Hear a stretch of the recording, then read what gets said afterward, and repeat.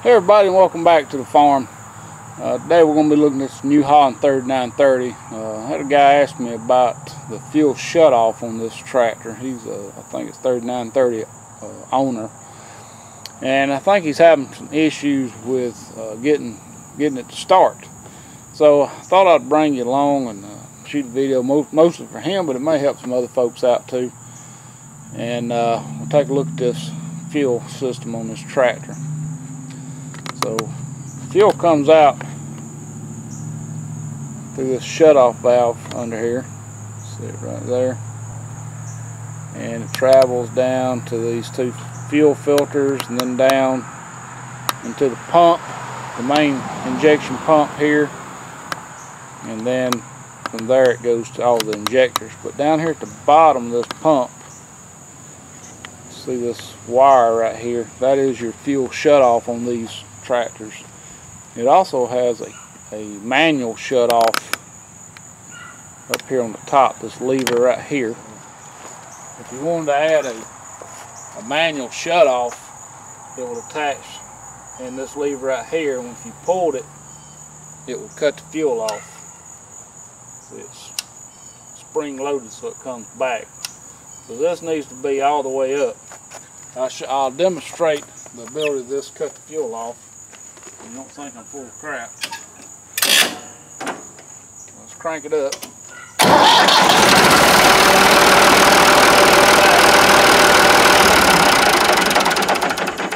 Alright, so if your electric solenoid ever goes bad and you can't figure out how to stop your tractor, just pull this lever back right there and that'll stop it. So if you could figure out if you're having problems these uh, shut-off solenoids, and they do give issues. We haven't, knock on wood, we haven't had any issues with this tractor, but I have heard of folks having issues with it.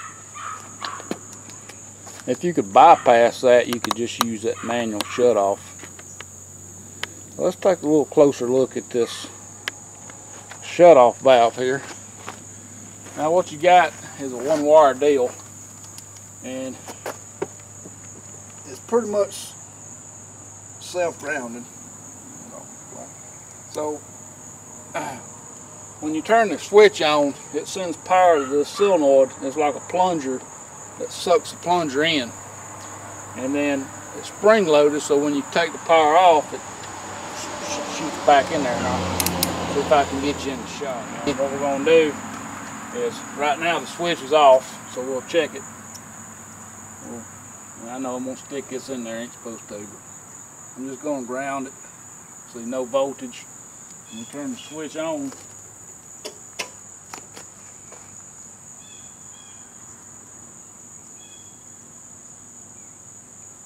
Dang flies all over my ear. Alright, so we ground it out.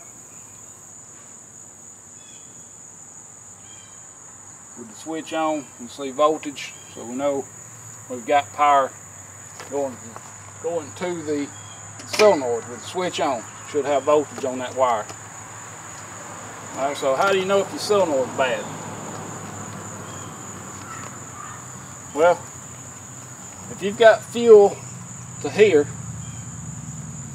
and you crank this thing over, take the pop one of your injection lines loose and see if you got anything coming out. If you don't have anything coming out, then that's shut. So let's just we know this is a good solenoid, so I'm going to uh, I'm going to ohm it and just let you know.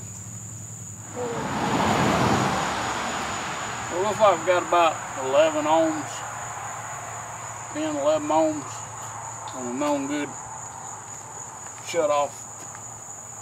A little bit hard to get, it has some rust on it, that's the reason I didn't want to read. But, uh, so I would assume that on a bad one, you'd have an open circuit, so you would never read anything. Alright, so to replace it, of course, you want to shut your fuel off right here. That'll kill this whole circuit. And then this thing looks like it just screws in.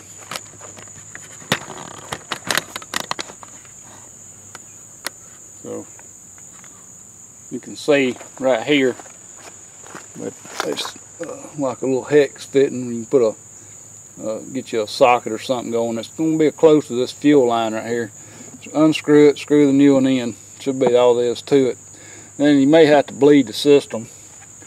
And what I do is once you cut your fuel shutoff back on, uh, so get you some fuel going down. You should keep your filter should be full.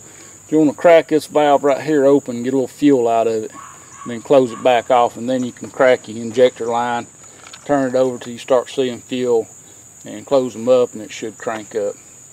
So I hope this helps troubleshooting on the uh, electric fuel shutoff valve. And I'm thinking they use these on a lot of lot of newer tractors, not just the 3930s, but pretty much all of them, all the newer ones, modern tractors. The old ones had those cable pulls.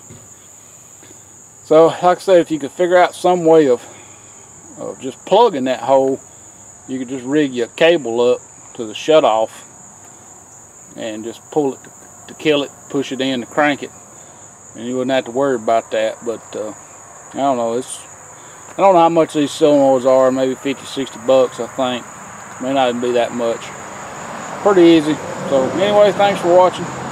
Hope you enjoyed the video. Sorry for all the noise, but right here by this uh, busy road. So uh, please rate, comment, and subscribe if you haven't. Stay tuned for more.